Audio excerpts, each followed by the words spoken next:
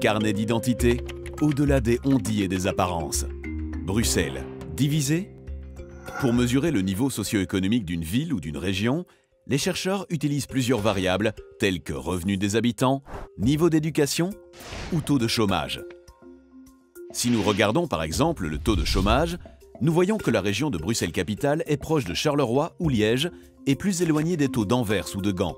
Mais ce qui distingue en particulier la région de Bruxelles-Capitale des grandes villes wallonnes et flamandes, c'est le pourcentage de population étrangère. 44,4% à Bruxelles contre 28,2% à Anvers ou 19,1% à Charleroi. Intéressons-nous à la région de Bruxelles-Capitale et ses 19 communes. Y trouve-t-on partout les mêmes populations? Non. À y regarder de plus près, les fractures sociales apparaissent. Elles ont une histoire bien ancienne puisqu'elles remontent à la construction même de la ville. La rivière, la Seine, y joue un rôle clé. Les industries s'installent à l'ouest de la rivière, dans des zones plus basses, souvent inondées. C'est aussi là qu'habitent les populations pauvres et ouvrières.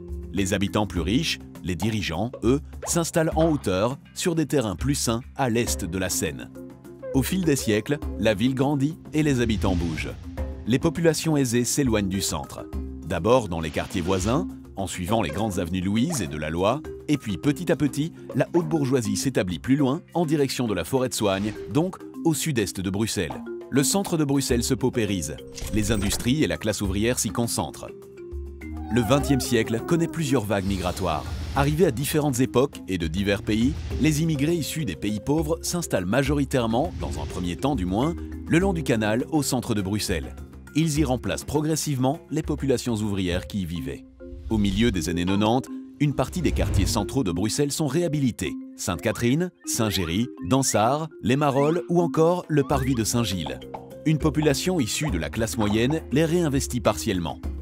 Au fil des siècles, Bruxelles a connu des mouvements de ses habitants. Et cela se poursuit puisque 10% de sa population déménage ou emménage chaque année. Dictés en particulier par l'histoire socio-économique et par le prix de l'immobilier, ces mouvements donnent aujourd'hui une région fracturée qui doit faire face à un grand défi. Chaque année, sa population augmente de 1,3%. Ces nouveaux habitants vivent dans les quartiers centraux, déjà les plus denses et les plus jeunes, avec la natalité la plus élevée. Ces quartiers centraux accueillent donc à la fois une grande partie de l'immigration issue des pays pauvres et des populations issues de classe moyenne, comme le fixe l'objectif de mixité sociale. Au même moment, dans les communes du sud-est de la région, la population stagne, voire régresse dans certains quartiers. Carnet d'identité, une initiative de l'Université libre de Bruxelles, avec le journal Le Soir et le soutien de la Fédération Wallonie-Bruxelles.